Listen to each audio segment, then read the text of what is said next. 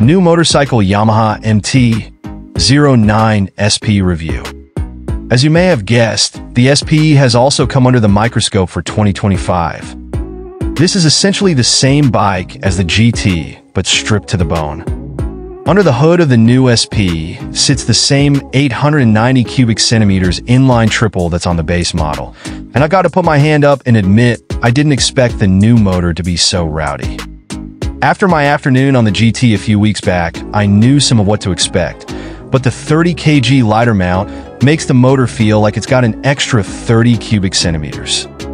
When things get rowdy, however, there's infinitely more performance than there was a couple of years ago. The motor has a definite kick in the power delivery at 5,000 RPM, and it begins to pick up speed real quick from here until 10,000 RPM. Yamaha's fitted an up and down quick shifter to the gearbox that's a nice touch, although it doesn't have the smoothest of cuts.